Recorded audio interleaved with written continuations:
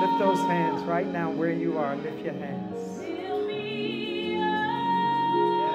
Hallelujah, Jesus.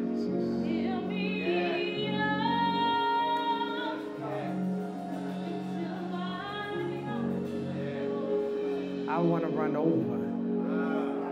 As you lift your hands in His presence, God, we are available for another download. Download, Holy Spirit. Download into us what we need for the next leg of this journey. Holy Spirit, teach us, deliver us, grow us, mature us, use us, be glorified in our lives. We lift our cups, we lift them up. Fill us up, fill us up, and make us whole. Now come on and give the Lord the best worship out there. Come on, open your mouths. Hallelujah. Hallelujah. God, we give you glory, we give you glory.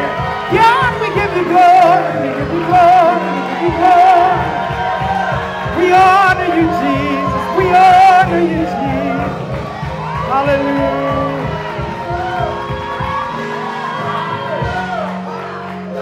Glory. Woo! It feels good to be on good ground tonight. This is holy ground. This is good ground. Hallelujah. Hallelujah. Just witness to somebody. Tell them we're standing on holy ground. Hallelujah. Come on, just, just walk around. You're on holy ground. Just walk around. Walk around. You're on holy ground. You're on holy ground. God's getting ready to manifest some things right here in this place tonight. He's getting ready to manifest some things right here in this place. Tonight. Tonight. Do it tonight. Do it tonight. God, do it tonight. Hallelujah. Glory to God. That's right. Just walk around in the anointing. The anointing. Hallelujah. Hallelujah. Glory, hallelujah,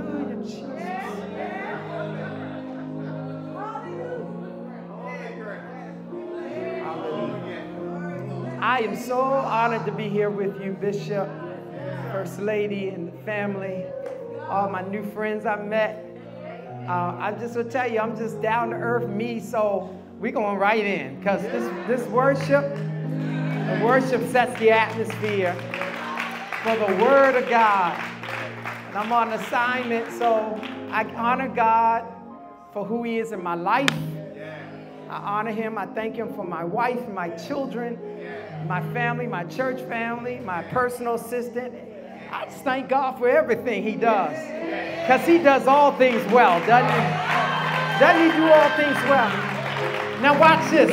I thank Him for my enemies too. I thank Him for the folks that did not want to see me make it. I thank Him for the haters. Come on here. Because if it weren't for the haters, I wouldn't be standing here to give Him glory. So I can say that nobody but God did what He's doing in my life. Can somebody say that? Nobody but God. Nobody but God. Nobody but God. And He gets the glory, He gets the honor. Hallelujah, Jesus. Glory. I'm a worshiper, so y'all done set it off in here. I just love it when people come to worship. No formalities. I'm just so honored to be here in a place of excellence. When I walked in, I felt something prophetic. I start to feel like you're really preparing for the next season. The next season of inflow, those flowing in.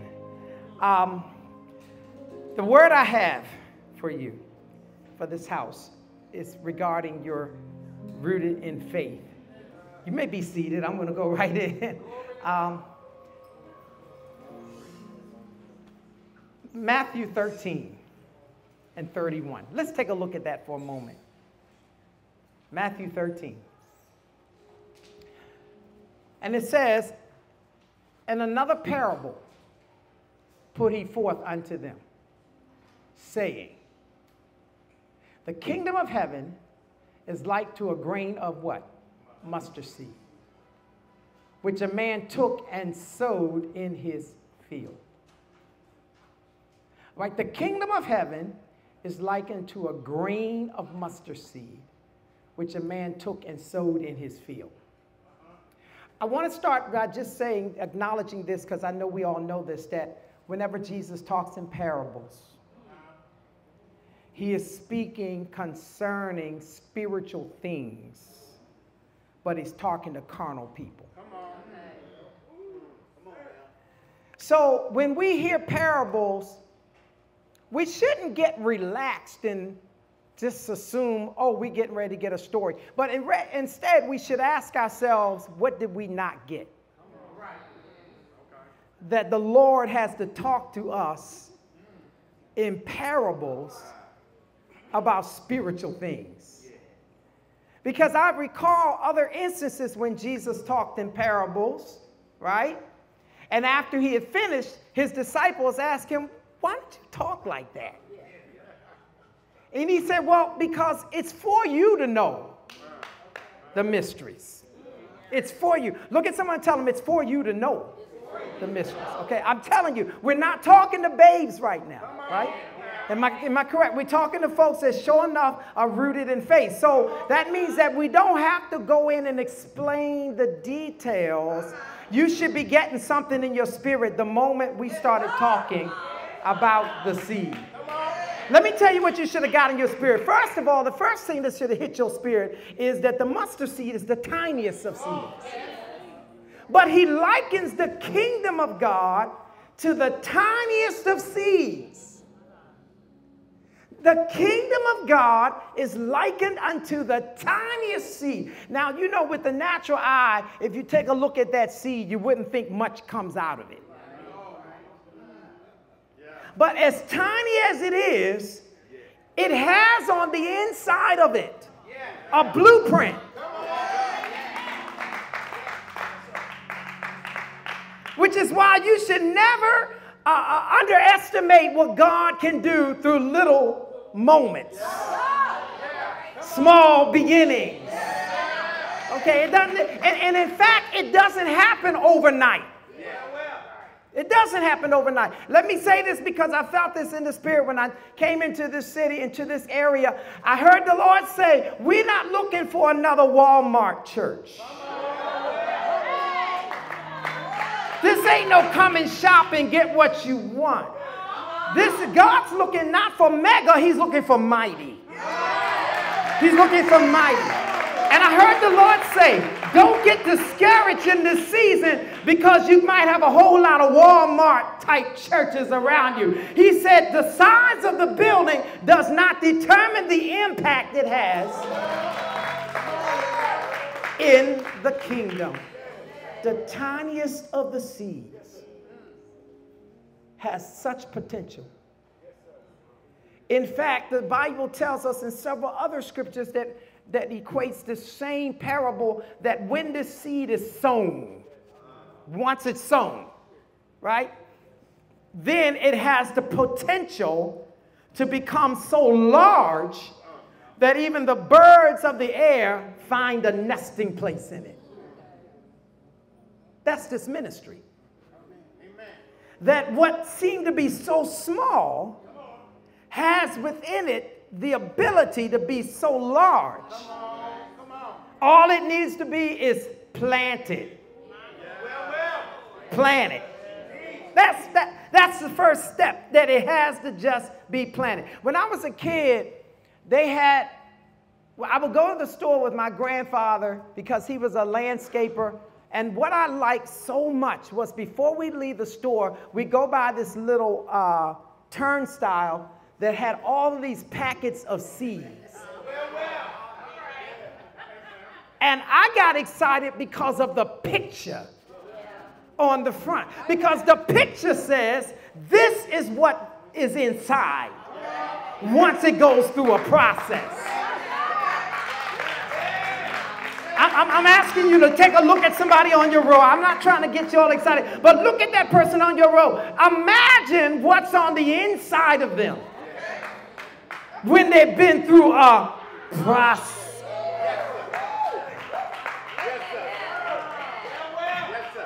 Right. So, so we would always pick up some seeds, and I would go home and take a Dixie cup and I go out in the yard and I put some dirt in it and I put some water in and mix it up like mud. And then I put the seeds in. Y'all follow me, right? And every day I would sit there and keep watching and watching, and nothing was happening. And so one day I decided I'm gonna just dump it out. And my grandfather said, What are you doing? I said, I'm gonna dump it out because it's not growing. He said, It is growing. He said anything that's growing has to take root first. He said it's got to take. He said, see, he said the life, the life of the plant is in the roots. And he said, he said this to me. He said, you got to understand that some things are not going to come above ground until they have been rooted beneath. And I remember saying to him, Well, how much longer? He said, It depends on what it's going to produce.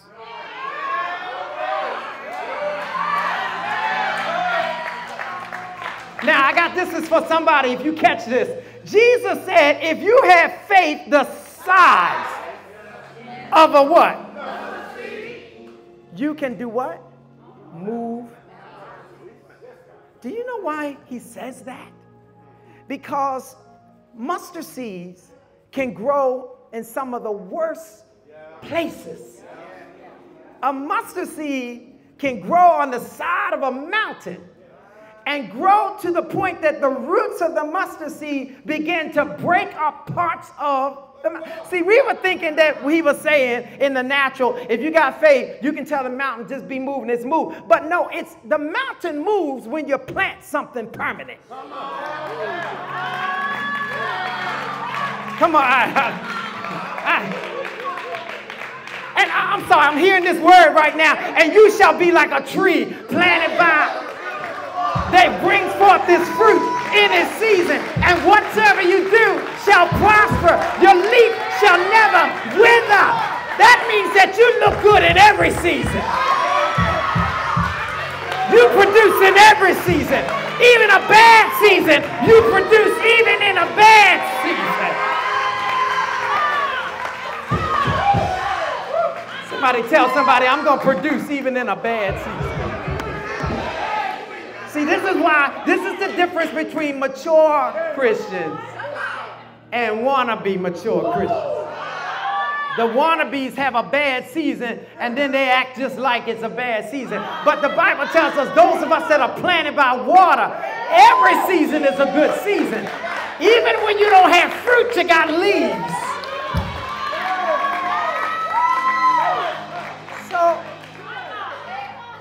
So I want to talk for just a few more minutes about being rooted and in faith.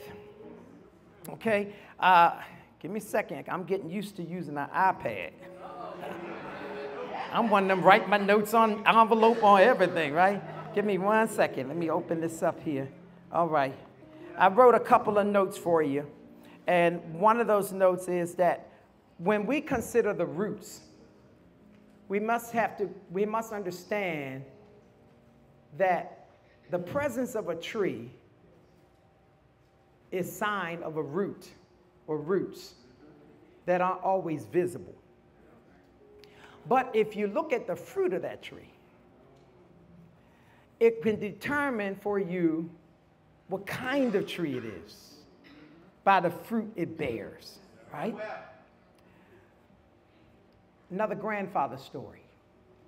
50 years ago, we moved into a house, and my grandfather planted a tree, a little twig in the front yard. It was so timid, he had to tie it with posts. And every year, we had storms, we had hurricanes, we had blizzards. But the interesting thing, after all of these years of seasons, that tree was growing. At some point, he took away the supports.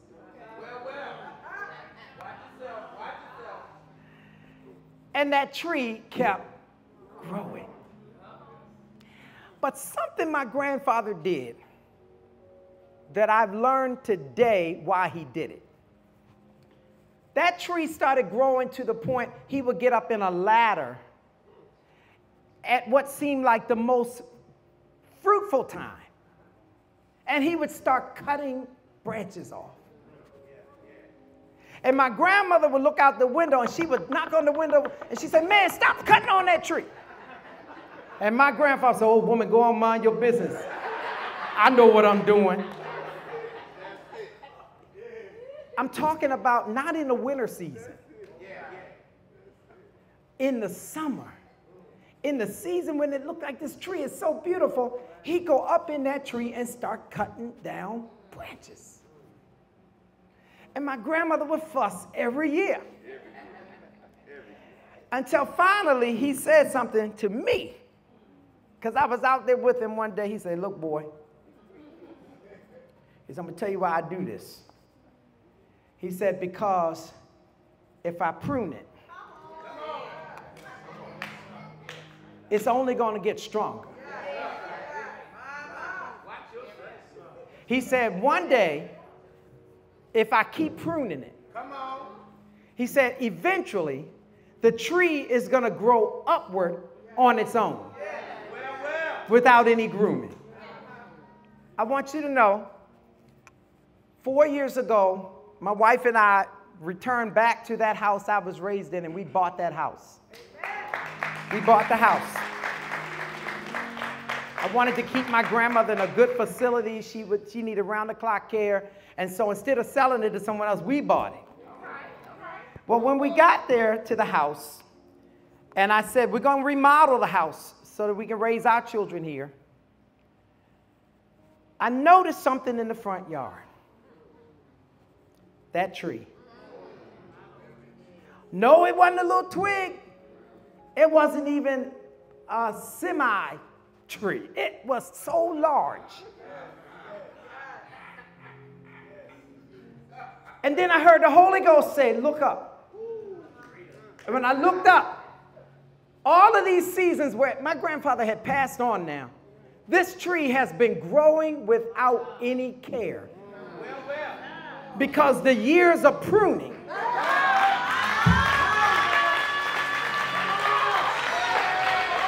Come on here, somebody. See, we got to be like that tree. Sometimes God has got to prune us. And you know what he does? He prunes us in the season where we don't feel it's fair. I'm fruitful. I'm anointed. Why is Pastor correcting me?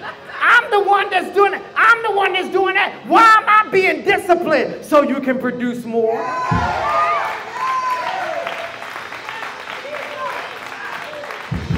Now that tree was growing upward not one limb on the ground.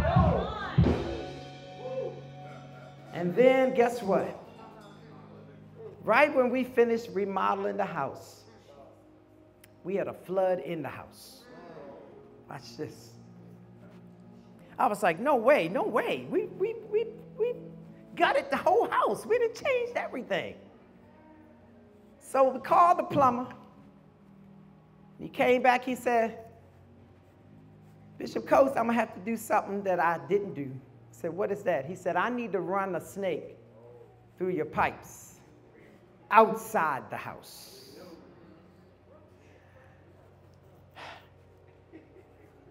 And it had a little light on it. And as he ran it through, he showed me this little camera. He said, Look. I said, What? He said, You see that? I said, Yeah, what is it? He said, Tree roots. I said, Tree roots? He said, That big tree out front? He said, It then grown all through the pipes. He said, And if, if we don't cut it down, it's going to grow up in through this house. I said, You mean the roots? He said, Listen, let me tell you something about trees. When they find a source of water, they only go deeper. Hey, come on. They only go deeper. They don't uproot and run. They don't get mad and leave. They go deeper. How many people in this room are ready to go deeper? I'm ready to go deeper.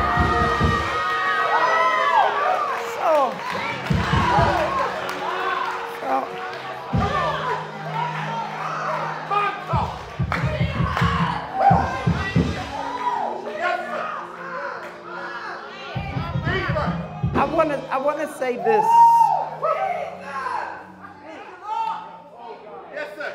Your roots, your roots, Bishop. Yes, sir. Prophet is your roots. Your roots are a sign that you've been through some seasons. It's a sign that you have endured seasons that would have uprooted you would have destroyed you.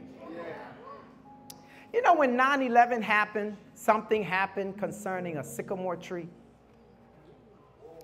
I'm a Jewish uh, student of the word. I study Jewish prophecy and times and seasons. And one of the things that happened during 9 11, seven buildings fell. But one building in the midst of them was not touched, and it was a church. And in particular, it was the very church that George Washington went into and got on his knees and dedicated our country to God.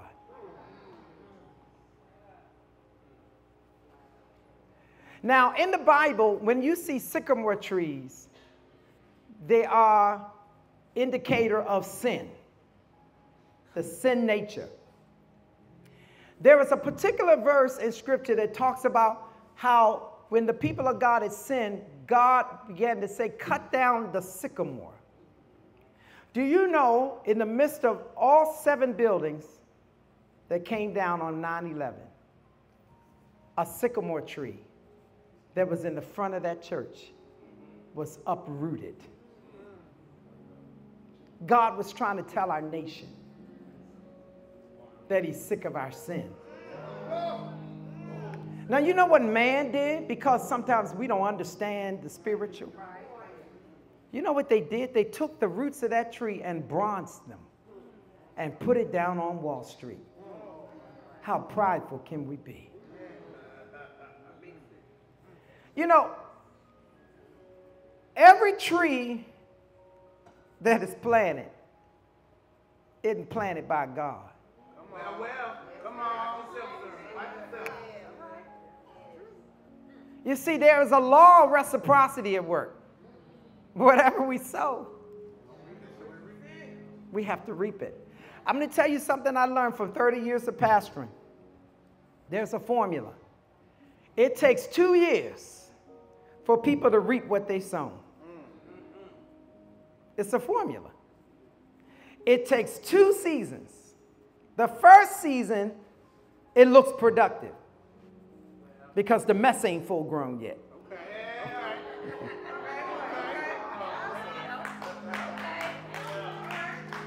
But oh, when the second season comes around, what they've sown, they must reap.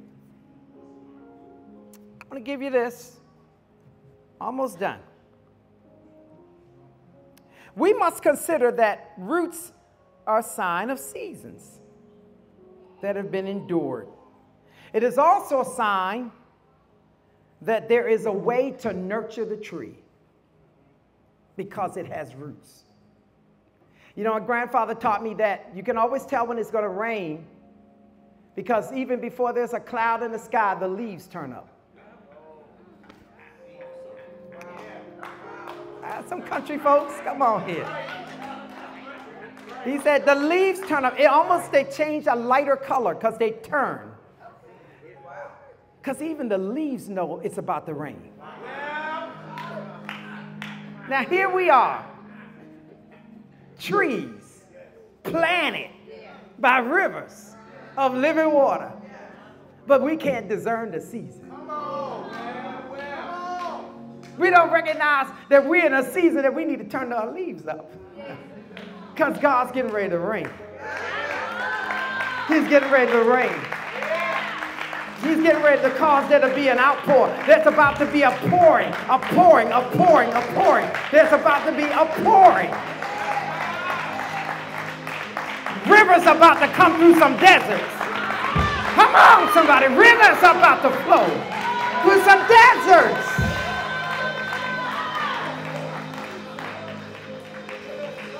But you got to stay planted. Because here's what happens when you uproot something that's meant to grow in soil. When you uproot it, you run the risk of putting it in soil that is not of the same quality. This is why people go from place to place but don't grow.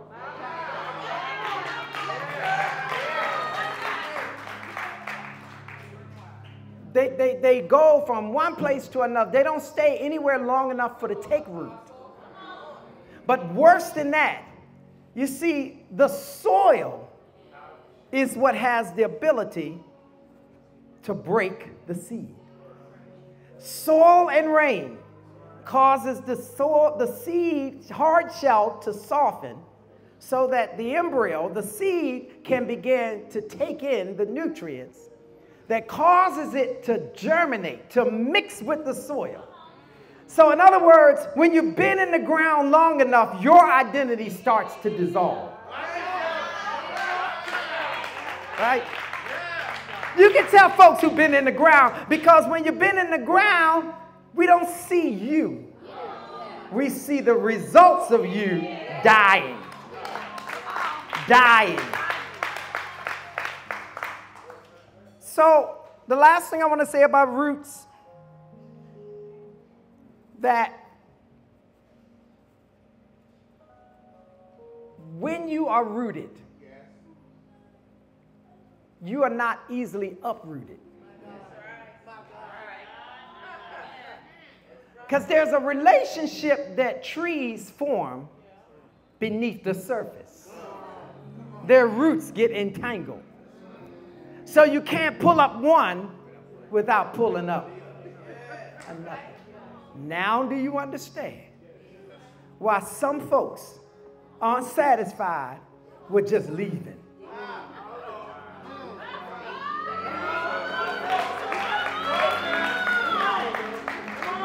Just I'm telling it like it is. 30 years of passion. I know in year 17 what's happening around 15 to 17 to 20. I'm telling you what I know happens in the church.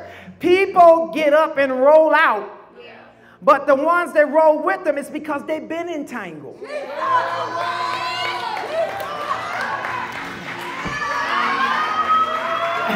The Lord ain't tell them to go nowhere. They've been tangled up. They've been intertwined with them. And so they had no choice but go because the devil himself does not leave heaven without taking a third with him.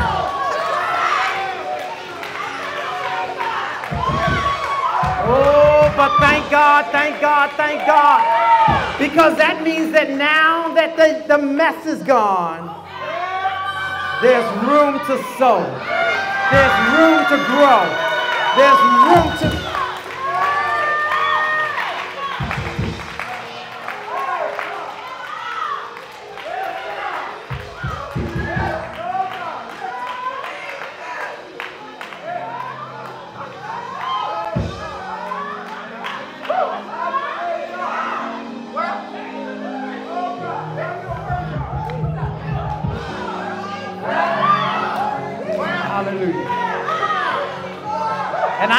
here, but I've been there.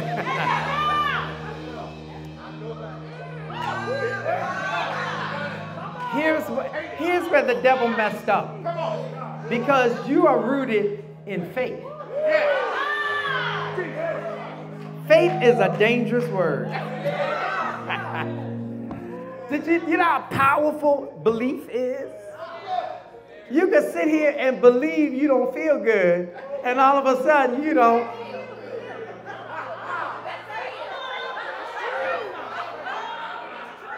I used to always tease my wife when we were dating because when I drop her off, she go running in her house. And I'm like, what are you running for? She's like, because I thought something was chasing me. I said, it was. It was your imagination. you created it and you caused it to chase you.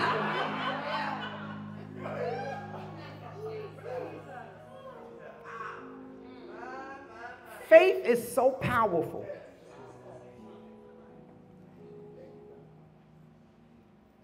when you're rooted in faith.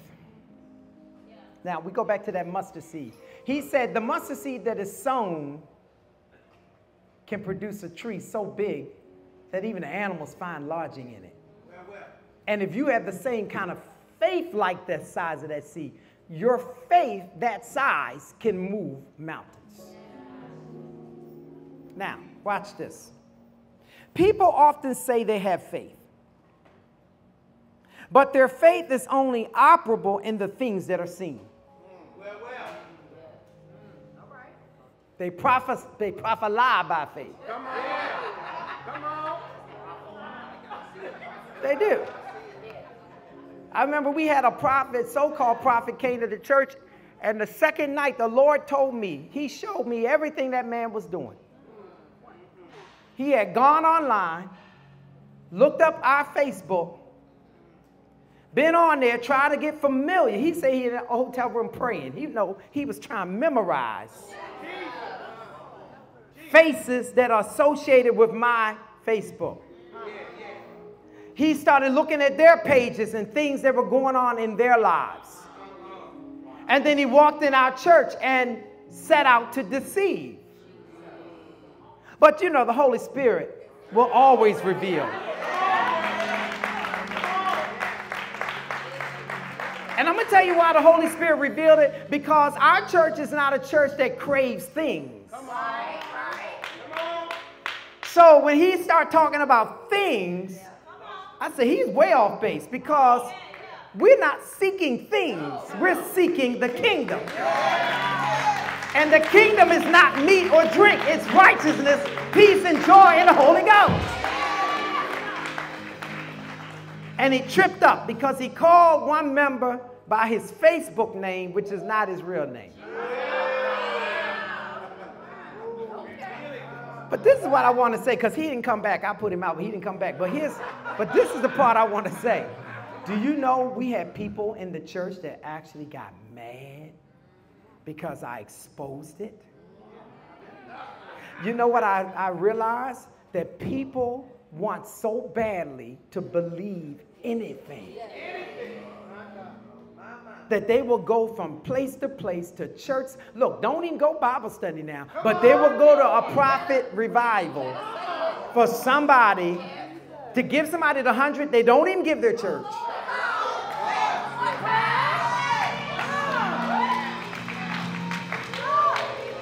Come on.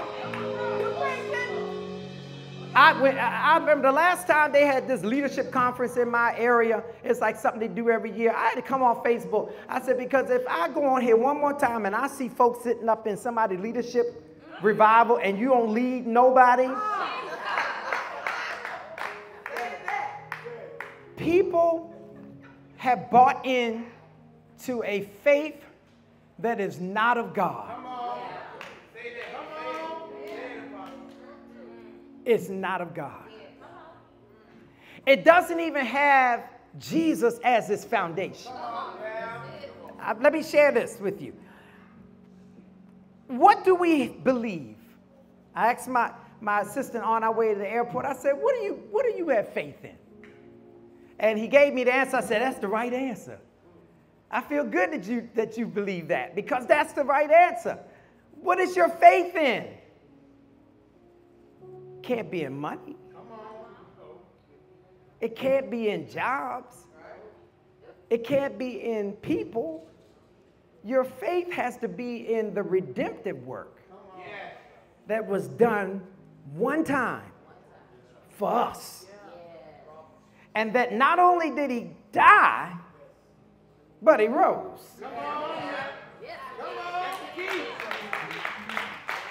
Now, let's go there. Let's have some fun. Let's go there. Look, think about this. When Jesus rose from the dead, those folks that had been walking with him for two and a half years had hid themselves in a room. Because their mindset was, well, they killed him, they're coming for us next. First of all, for them to think he was dead showed they did not have faith. Secondly, he appeared to them in a room and they were freaking out like it was a ghost. So that was another sign they didn't have no faith. Then he breathed on them and said, Receive the Holy Ghost. Now, it wasn't a Benny Hinn moment because I can imagine they were still so tangled up in their mind that the breathing didn't have any impact at the moment. But then, watch this. They start questioning him to the point he says, It's me. See, look. Look, this is where they nailed me. This is where they pierced me. It don't hurt no more. I'm in my glorified body. So look, so they get excited because they had seen him. Right? So they go running all excited because of what they have seen. So they go and they find Thomas, and Thomas said, Well, look, I'm sorry. I'm sorry. I got to be like I am. I'm just this way. If I don't, I want to not only see his hands, I need to put my finger where the scar was.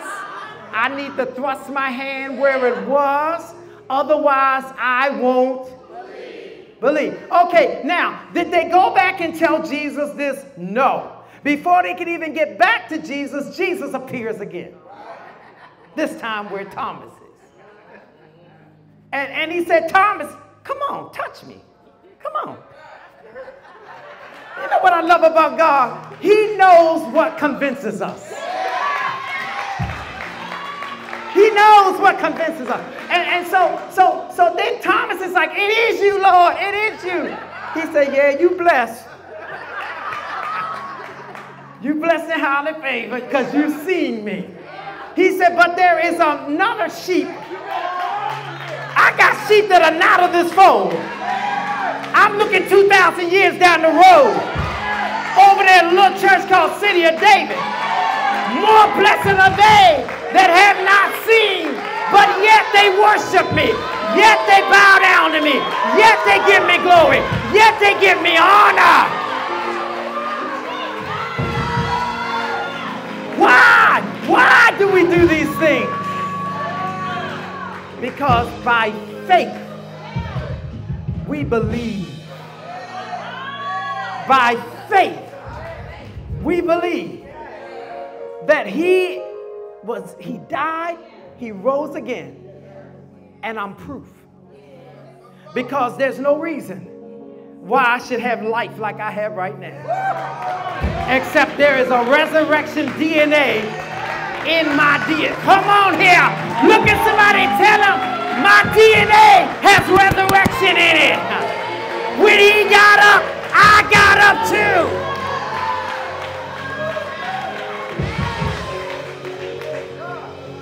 I want to give you this one last example about this faith piece because I want to make sure we all understand what you're rooted in. You're rooted in something that is not seen, yet it is made manifest. You're rooted in, watch this. I, I did a course on miracles because I, I will, God has used me to work miracles, but I didn't understand. And I'm really inquisitive, so I, I wanted to know God, how does this work? When you tell me to go to the hospital and someone's in a coma, and you tell me lay hands and they get up, how? Right? And you know what the Lord said to me? He said, dummy. Hey, he talked to me like that. he said, Why do you go? And I said, Because I believe you sent me. He said, Why would I send you somewhere I haven't already been? He said, You're not there to work a miracle, you're there to declare what I've already worked. Said, ain't no miracle in you. He said, You just are there to declare what I have already done.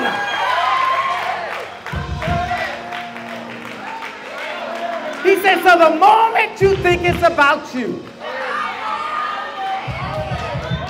he said, Then it's no longer about me.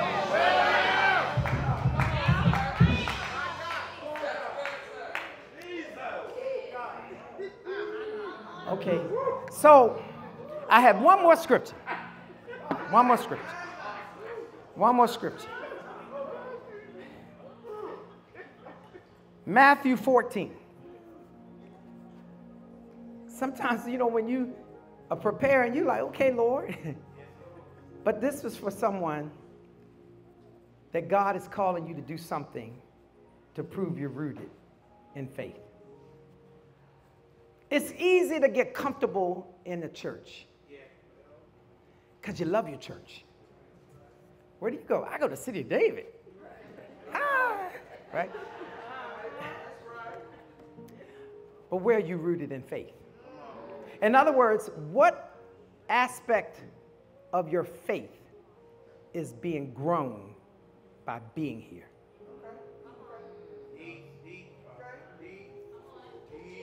I've been here all 17 years, and what has manifest? What has City of David done to challenge you? To challenge you and your faith to go above and beyond your comfort zone. See, some people serve because it's where they want to be. It's where they like it. Oh, yeah, I like this church because I'm, I'm going to sing on the praise team. Can't sing a lick, but you're going to sing on the praise team. Right. But what has grown in you because of you being rooted? What's changed that would not have changed if you had your say? Like, I, I can tell you one that's changed for me in the past year that I have learned to walk in that boldness when I'm not in the pulpit. Because, you know, most people don't realize that preachers a lot of times are introverts. When we get out of the pulpit, that's it. You don't hear us no more. But the Lord had to show me through me dealing with anxiety, panic disorder. He had to show me the root of it was a lack of faith. Bishop Coates, lacking faith. You can move the mountain for somebody else, but you can't see it moving for you. I had gotten so bad off that I, I couldn't, one Sunday I got up to, to preach and I couldn't even talk. I got my stuff and I ran out the door and got in the car. And on the way home, all I kept saying is, I'm losing my mind. I'm losing my mind. I kept saying that. And the Lord said, You can't lose something you've already lost. You said, He said, Your mind is in me. He said, Now, when you're ready to come up out of that, find yourself back in me, He said, I'll walk you out of it. And I came back four months later, better, stronger, bolder. First course of action was to tell some people, you got to go. God didn't say I had to pastor you. I pastor sheep, not wolves. I said, and I have the right to tell you, you are no longer necessary here. You need to go find somewhere else to be. I said, and anybody else that don't like it, you're going down too.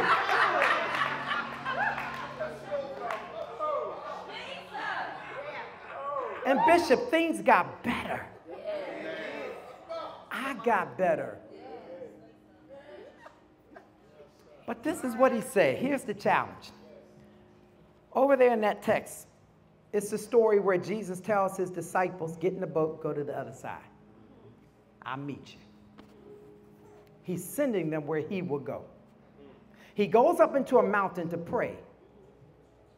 And in the wee hours, he stops praying and he's like, now I'm gonna go to the other side. Now he don't take no boat, he walks on water. Okay, so Jesus is walking on water and he is uh, on his way to the other side. And he almost passes by them headed to the other side, like he's not looking for them in the water because he sent them to the other side. Sometimes we're asking God, Where are you in this? He said, I'm not there, I'm where I'm sending you.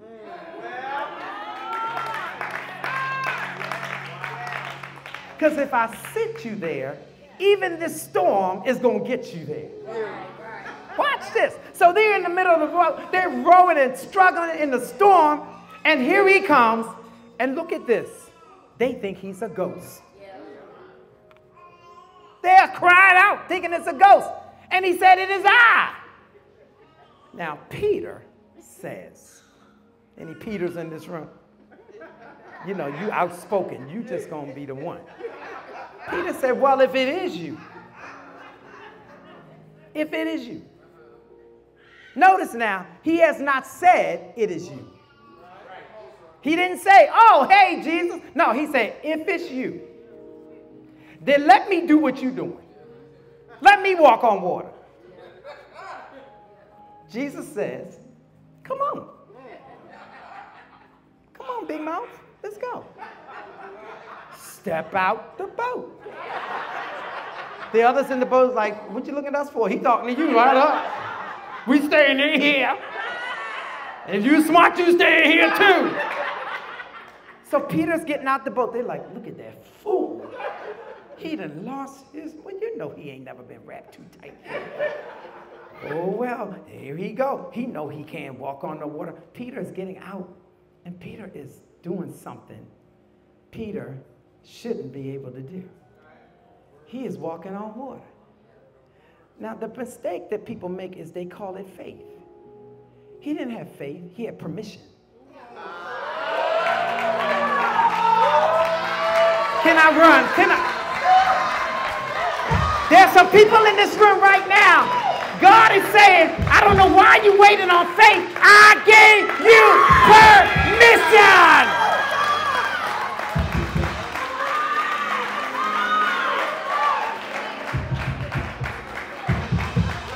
Peter is walking because he said, Come on. If the Lord tells you to do it, ain't nothing magical about it. Just Keep your eye on him and do it. Peter started sinking. You know why he was sinking? Because he wasn't rooted in faith. He wasn't rooted in faith yet. His sinking was a lesson. It was, first of all, you'll never forget this moment because you walked on water. He said, but you'll never forget this moment because when you could have kept walking on water, you started sinking. What did Jesus say to him when he started sinking? Oh, ye of what? Little faith. What is the Lord saying to us? If we're rooted in faith, that means we're ready now as grown folks, grown people faith. Grown people faith ain't just sitting there praying about the bill.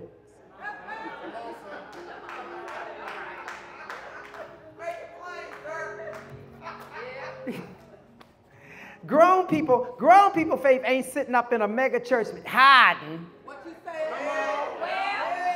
Because you don't want tithe, you don't want to be a part of, you just want to be a casual saint. Using some sorry excuse, you got hurt. You get hurt anywhere. You get hurt on your job, but you go. You get hurt in your house with your family, but you still go home.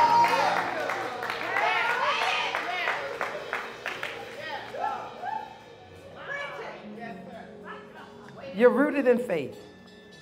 My closing remarks first is thank you for extending this opportunity. Because when I was praying for you, I saw you had been in a struggle and you're recovering. What's to come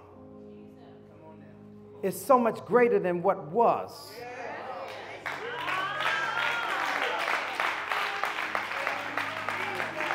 Brother, I know a church that's good ground. I know. I've, I've been some places where I was like, okay, Lord, not here. I felt fire all up around here. And I felt the Lord saying, this church is like the seed that is sown. Keep saying seed. That the farmer gets up day and night looking and it grows, but he don't know how. First, a blade, then the flower, then the fruit. That's where you are now. You've produced a harvest of fruit that are ready to be planted again and produce more. Bishop, you have to be looking at your successor because you can't be in too many places at one time.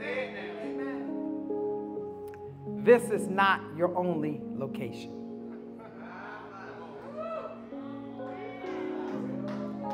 I hear the Lord said, You did with this what I wanted you to do. You turned this from a building into kingdom. And some people, I don't even know them, but some people question why you spent the money to do this. Why are we doing this? Well, you know why? Because when the Lord wants to abide somewhere, He says how He wants it to look. Yes, sir. Yes, sir. And those that look with the naked eye, they miss the spiritual blessing. This is good ground. This is good ground. There's a harvest coming in this season in this church that you're going to be looking around saying, Do we have any more chairs?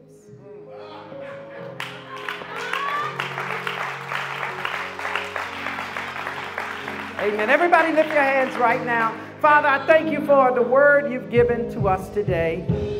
May this word fall on good ground, not thorny ground, not stony ground, but that the hearers of this word are receiving this because they intend to be a product of what they received this weekend in workshops, in the preached word, the taught word, that they will bring forth out of what is sown into their lives. And Father, thank you that every need is met. In fact, Father, thank you that visions are being resurrected. Things that people saw as a business plan, pull it back out, finish it. Don't think about the money, think about the one who gave you the vision. If God gave you a vision, God has provision already in place. You're looking at a brother walking on faith. And I refuse to look down because if I look down, I will sink. Don't look down. Keep looking at the one that has empowered you. Many of you are going to bless this church in so many ways because it's your heart's desire. You're going to be one of those people that just keep seeding church is going to keep adding and multiplying because you're on good ground. Hallelujah. So, Father, thank you now that even in this season, thank you for the miracles. Thank you for the manifestation of your presence, not only in the worship, but even when they leave this place and they go to their jobs and they go to the community, into the marketplace, that you begin to draw your people, draw them unto you. God, we thank you that this is not a brand, but this is you, Jesus. You being glorified, you being lifted up. Because you said if you be lifted up, you'll draw men. keep these people rooted in the faith in Jesus Christ. Not in things, but in eternal reward. In Jesus' name. Everybody give God the best praise you got. Come on. Come on and give him the best praise you got. Come on and give him the best you got. God, I'm on good ground. God, I'm moving because you gave me permission. God, I'm walking on water because you gave me permission. I'm like a tree planted by rivers of water. I'm going to bring forth my fruit in my season. Everything I do shall prosper and nothing shall wither because I'm rooted in faith. God bless you. We love you guys so much. Thank you so much.